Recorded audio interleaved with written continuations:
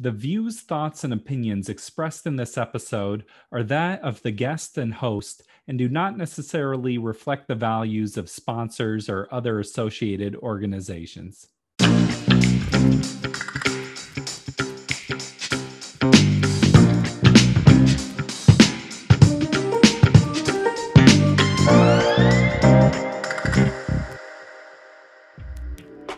Welcome to the Parental Compass presented by Family Education and Support Services.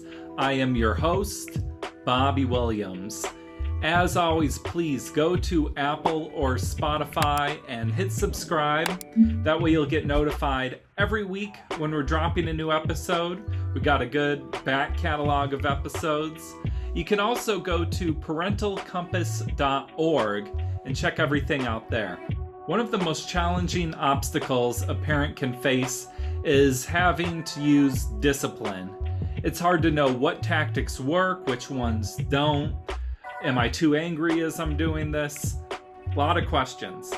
Well, here to help us come to some answers, Shelly Willis. Shelly is the Executive Director of Family Education and Support Services. She is constantly teaching parenting classes and has worked with thousands of parents. Let's hear what she has to say. Uh, when I was first married almost 40 years ago, I wasn't sure I would be a good spouse. I wasn't born knowing how to do that. And I really wanted to make a nice dinner for my husband. So I called my mom and I said, How do you make a pot roast? And she said, Well, you have to cut it in half and turn it upside down to keep it from getting dry. Then you salt and pepper it and you put it in the oven for a couple of hours. I said, Okay, great recipe. I'll call Aunt and just see if she has anything to add. And I called my aunt and she said the same thing cut it in half, turn it upside down, salt and pepper it. I said, Okay, that's two for two. I went to my grandma and said, What are your recipes for pot roast? And she said, Hun, you just throw that thing in the oven, salt and pepper it in two hours, it'll be good. And I said, Everybody else in the family is telling me I have to cut it in half or it's going to get dry. And she said, Nope, that's only when the pot's too small. so it had become a tradition in my family that I would have continued because one time when my grandma made the pot roast, it was too small. Wow. Parenting, I think, is a lot like that. You know, you do what you see done and you keep on doing it until you find a better way. Mm. Well, and they probably had smaller ovens back in the day too.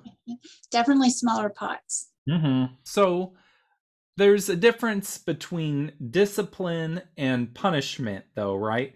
Eh, what what's the distinction there? I think our goal as parents should be trying to help teach children how to do a better way. And if we're only using punishment, we're losing the teaching part.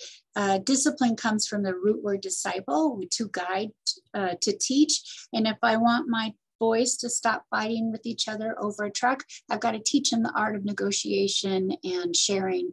And just taking the toy away or putting them on timeout isn't going to get me that result. Uh, if you if you looked up punishment in the dictionary, it says to inflict harm or pain, to remove from society, which might reflect a timeout, but we really want kids to learn the uh, strategy to solve the problem. Yeah, I, I, remember talking with our colleague Scott Hanauer, and he's big on giving a bunch of choices, like give a thousand choices a day or some kind of huge amount of choices. How does giving choices relate to discipline? Well, first, I just have to say Scott is just amazing, and I'm just honored to work with him. He's, he's just, awesome. He's just wise man. Uh, giving choices helps kids build confidence in their decision making and gives them a sense of agency to they can make the decision and it can be the right decision and that motivates them to make good decisions whether someone's watching or not it's it's growing their personal integrity yeah well, and he says it kind of ties into that prefrontal cortex, or that's the front part of your brain that you want to develop. So it's sort of like a little workout for developing your brain. Yeah, it's a good way to look at it, or building confidence. Yeah, it's a good way to look at it. Yeah, it's kind of practice for life. Well, I want to throw out some common discipline tactics and get your opinion on them. All right. So, you mentioned timeout. What do you think about timeouts, or what's your philosophy on all that? Well, there is a quote that says you should give one minute per age, which I love because I'm over 50. So that means I get 50 minutes of timeout. I think it's the best gift you can give someone. Okay, so explain that giving yourself 50 minutes of timeout, or what, what are you saying there? I think you're role modeling the behavior you want to see with kids because timeout is a time to sort of de stress, take a breath, think about what just happened and how it's going to play out differently next time. Some of us, when we get angry, we have a lot of energy and we have to move that energy out before we can really think about what's going to be done differently. I have a I struggle with parents who who uh, who put kids in timeout chairs because when I'm angry, the last thing I can do is sit. I really need to move and get mm-hmm. control of something. Clean. I clean a lot when I'm frustrated. Uh, what timeout does is give you time to just kind of decompress and think about what can be done differently. So it's a great benefit if I have 50 minutes where I say to my kids, listen, I made a mistake. I really need to sit down and think this through. I'm going to give myself a timeout. You're really role modeling for your kid a great way to manage that energy and emotion. It's like anger management and teaching that. The danger is if parents say, you know, go to your room, I'm, you know, you're angry, come back when you're happy again, or but that teaches kids kind of stuff their feelings, not necessarily to work through them. So if you can teach them about it's okay, in fact, encourage to give yourself a timeout, then you're teaching anger management. Like come back when you have a better attitude. Uh-huh. Yeah. But but kids need to know you know life can be disappointing. We're all going to experience those. So what are appropriate ways to be angry? Managing your emotions can be just a real struggle even for adults. Let's let's move down the list. What about spankings? Do you have a philosophy on those well, spanking is certainly in the toolbox of parenting, and one I always uh, encourage parents to be cautious of using. It, it gives the message that it's okay to hit uh, when you're angry or frustrated. And frankly, I just think there are better tools to use when I see people using spanking, I always think, well, they've kind of run out of whatever resources. In my mind, it's kind of like an outhouse. It's there when you really need it, you're desperate, but we have indoor plumbing now, there's other options. Yeah, that's kind of when you're at your wits' end or last resort move. Yeah, I haven't seen many parents use spanking when they're calm. Usually it's really you're frustrated and you're like, get over here right now, we're going to handle this. And what if you're going to have a discipline moment, a teaching moment, both you and the kid need to be calm so the learning can begin. Yeah, it's never like, okay, in 30 minutes, I'm going to come back and give you a spanking. Yeah, you're right. It is always in the moment, usually. Mm-hmm. what about when kids are getting older and the idea of you're grounded, you're not going anywhere? What do you think about that one? I think it's not the severity of a punishment that gets kids to listen, it's the certainty of it. And the more consistent parenting parents can be about setting limits and having consequences, uh, the better it's going to be for both because they'll know where the boundaries are. When parents ground kids, I always think they're grounding themselves because now they have become the warden and they have to monitor. And it's hard to not give in when you're on that third day. Totally. It's like how can you make this not a consequence for you?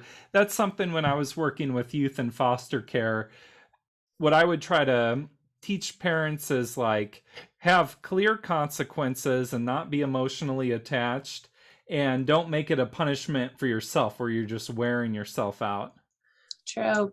One of my friends said to me when I my kids were younger is you have to be careful what consequences you put out there because you you have to follow through. And she said, if it's not worth getting out of the chair, you shouldn't even be saying it. And you, you need to be able to follow through. Well, yeah, follow through. Expand on that idea. Well, consistency and structure creates safety for both the child and the parent when you know what the consequences for the behavior and that it's going to be met uh, circles back to that same conversation about it's not the severity of the punishment, but the certainty that there'll be a consequence. Mm-hmm. A great example is the speeding ticket I had not too long ago. I just realized we're airing in front of everybody.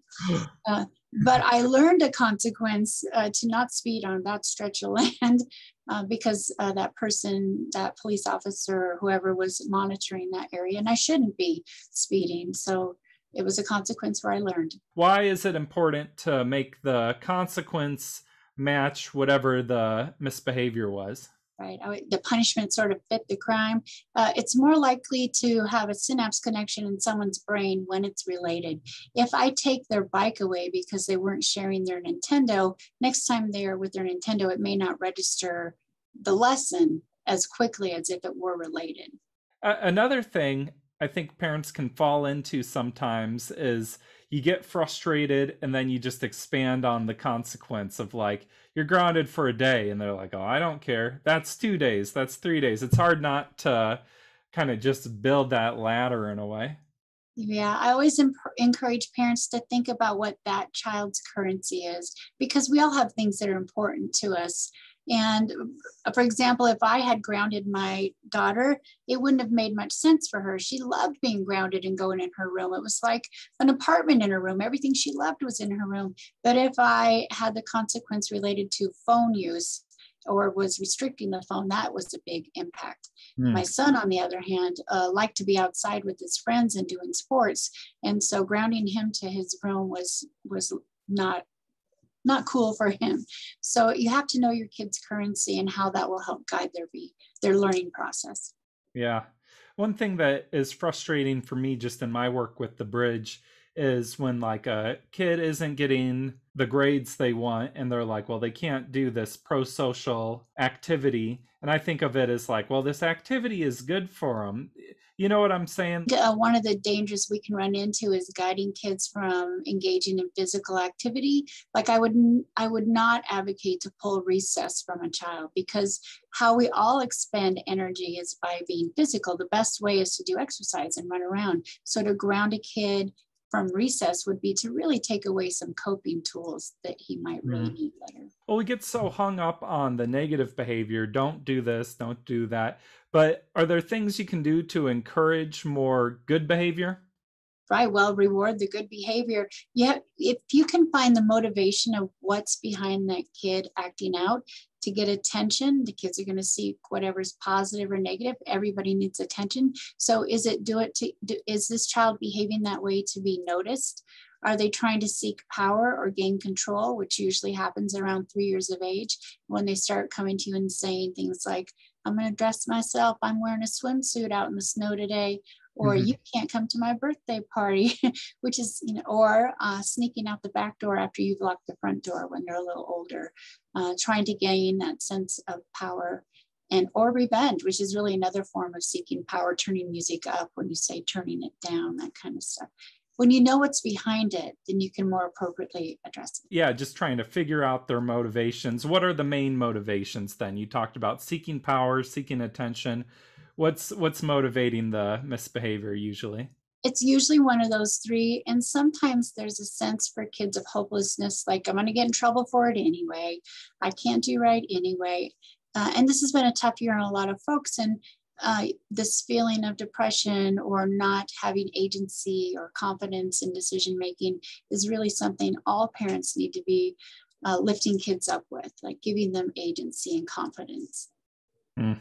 Resilience. Yeah, that's that's what you're hoping for in life is to raise a child with resilience. And it's about thinking about that rubber band. Does your rubber band stretch when you're stressed or does it snap? We want to help kids learn to stretch and be flexible and be good advocates for their needs. Mm. When your child is pushing back, it's like bedtime is at nine, and they're like, Well, I think it should be at 10. Is there room for flexibility, or is it important that you set a hard line of like, I said nine. Like, is it good to have hard boundaries? Is it good to be flexible? I wish there was an easy answer to that, but it depends so much on the parent and child dynamic and the age of the child. I can say that there are some parenting philosophies that have more success than others. And when kids want to stay out past a certain time, parents can negotiate some things like if I let you stay up a half an hour later tonight, we'll test it and see if you're really ready to get up in the morning.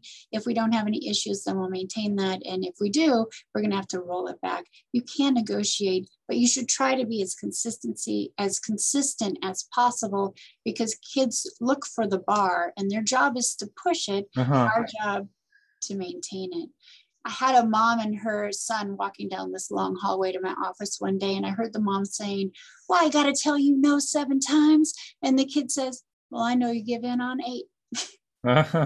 So we teach our kids how to treat us, you know, and we we teach them where the boundaries are. We want to sustain them as much as possible, but also recognize when they're growing to be a little bit flexible and let them begin their own sense of agency. One of the most frustrating, challenging things is when a child is misbehaving in public. They're having a meltdown at the airport or something, and it's like, what do I do? There's nothing I can do here. Um, I don't know. Any thoughts about that kind of situation? Gosh, that is so hard and embarrassing and frustrating, and often you just don't have time for it. Uh, what I would yeah. say to parents, congratulations, because kids do not throw that kind of a, a tantrum in front of parents. They're afraid you're going to hurt them or abandon them. So if that kid is throwing a fit, then you have really gained trust with that child. Well, that's a nice spin on it. I hope you just take a moment and congratulate yourself on having such a good bond of safety with that kid.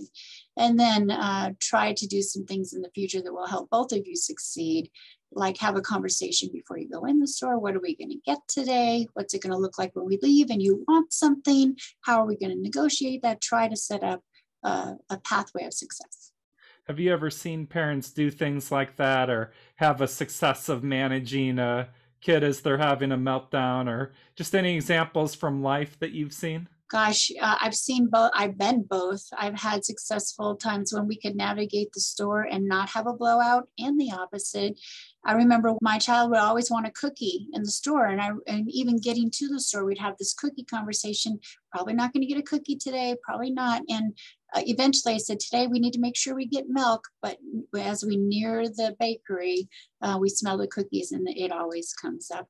It really does help to try to plan ahead, but there will be times when you have a blowout and there's other parents who recognize it because we've all been through it. If you see someone in a store, I hope you'll just wink to them and say, hang in there. And I'm not judging you. And we've all been there. Keep going. Any parent knows what that feels like. I remember you telling me a story once about a kid that was just having a breakdown and their parent was just trying to hold it together. Yeah, uh, little Mikey. Uh, uh I was walking through a grocery store where I do a lot of my parenting research, and I saw this dad with this 18 month old kid who was screaming and crying. I wondered how dad was going to handle that. So I started following him in the store. I was kind of stalking him in the store, and he went to the grocery uh, area where all the produce was and he picked up some bananas and he got a little close and the kid knocked over a whole bunch of bananas and the dad just said it's okay, Mikey. It's okay. We're going to get through it. And he started picking up the bananas, but Mikey wasn't impressed. He continued to cry. Dad went to the next aisle, which was cereal, and he got too close, and the kid kicked out, and Cheerios boxes go flying. And I'm watching oh. dad. Is he going to bail? Is he going to stay? I mean, I was curious what's going to happen. Uh, but the dad did the same thing. He started picking up, and he goes, it's okay, Mikey. We're going to get through this. And this time, dad's smarter. He's going down the middle of the aisle, but the kid's still screaming. Mikey throughout the entire store, every aisle. And we landed in the checkout together because I followed him. And I said to him, now the child was quiet. And I said, Good job. You made it through the store. And you and Mikey are still okay. And he looked at me and he laughed and he goes, My name's Mikey. This is Timmy. Ah. through the whole story, he's talking to himself brilliant, brilliant parenting technique. Because in my head, I would have been thinking everybody's judging me, I'm not a good parent, and all these negative uh, words would be in my head. And he was intentional about not. He was saying, I can do it. I can do it.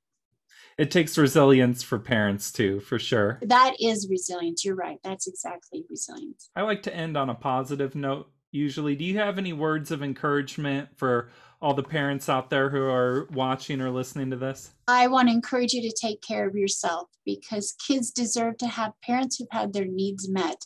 And when you're doing okay, your rubber band is a little more stretchy and won't pop as quickly, won't snap as quickly.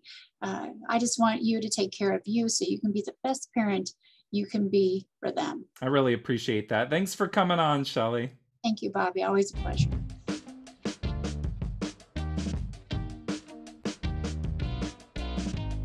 Thank you, Shelly. A core idea that I walked away from this conversation with is that discipline teaches your children how to think for themselves so that they can make good choices. This has been the Parental Compass presented by Family Education and Support Services. We'll see you next week. Peace.